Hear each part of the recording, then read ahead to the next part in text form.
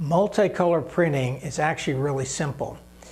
In this video, I will go through the steps to make this an easy project for you.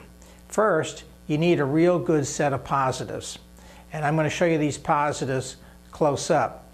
Positives can be created in CorelDRAW or Adobe Illustrator. And those two competing companies have very similar programs. They even use the same icons in many cases.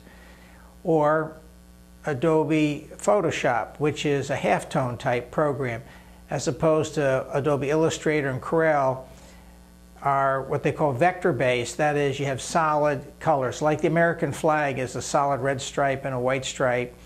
Those are vector based. That's the Corel Draw type print. If you're doing text, say the name of something across a shirt, that would be a Corel Draw type thing. On the other hand, if the image was shaded and it's in dots, large dots being a darker color, small, same color, but smaller dots being a lighter color, then that would probably be done in Photoshop, although CorelDRAW has somewhat of that capability. However, for four color process, six color simulated process, the premier program is Adobe Photoshop. Any event, let's go look now at the positives because that's a good starting point. Here are four positives taped together using the registration marks that are produced in the computer program. Now, the computer programs do not really have good registration marks, so the best thing is to create your own registration marks, save them in the program, and then apply them to your artwork. And these registration marks allow you to get these positives back together. You can see as I peel them off, each one has the registration marks. So we tape the four together. That way we have the spacing from one side to the other when we go to put this in the screen. The positives have now been taped to the screen registration guide. We have a separate video on how to make the screen registration guide. This will take you about 10 minutes and is free. So you just use materials that you have available. What the screen registration guide does for you is it gets the image exactly in the right place in the screen. So when you go to set up the job, you don't have the experience of the image being too high, low, or crooked. The image will be exactly where you want it if you make a screen registration guide. Now let's look at this close up. The screen registration guide has a vertical center line and a horizontal center line. And when you watch the video on how this is made, you'll understand why those are there. But what it does for you, you can see that the image is one, two, three blocks to the left of center, and one, two, three to the right of center. So the image is going to be perfectly centered on the screen, and we have lined it up on the center line right there, so the image will be straight. It's perfect. Now the next thing is each of those positives are independently scotch taped down to the screen registration guide. So uh, we will be able to pick them up one by one and attach them to the back of a screen. And the way we're going to do that is with double st uh, stick scotch tape. So let's go to that step. Next we put one inch strips of double stick scotch tape in each of the four corners of the top positive. And the reason we do this is that shortly I'm going to lay the screen over this screen registration guide and pick the top positive up off the pile.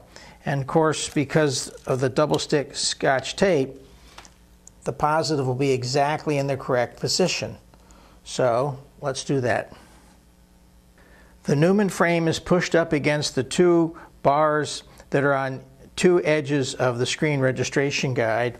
And now I'm just going to push the mesh against the double stick scotch tape to make sure I have good contact and then I will be able to pick the screen up with the positive on the back of the screen.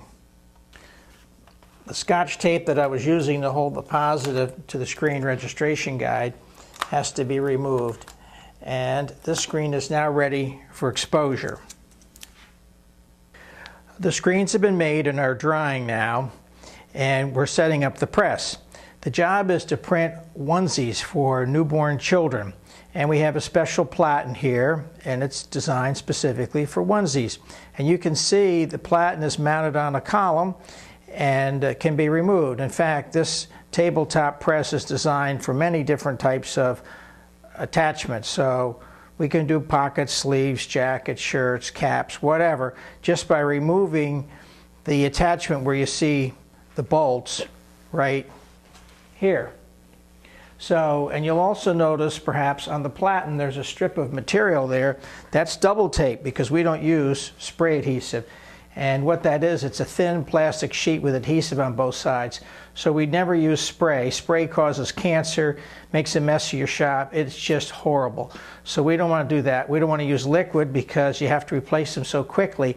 But this double tape is good for about 12 to 1400 prints.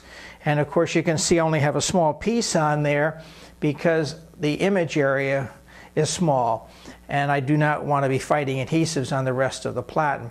So we're set up to get the screens in registration in the press. The first thing we have to do is draw the center lines on the platen.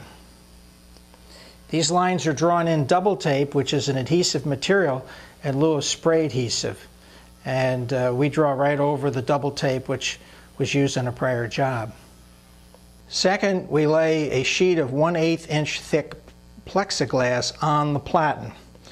The double tape, which is adhesive, will hold the uh, plexiglass in place. This way we're not laying our nice clean positives on adhesive and we do not have to clean the platen up before we go to another job.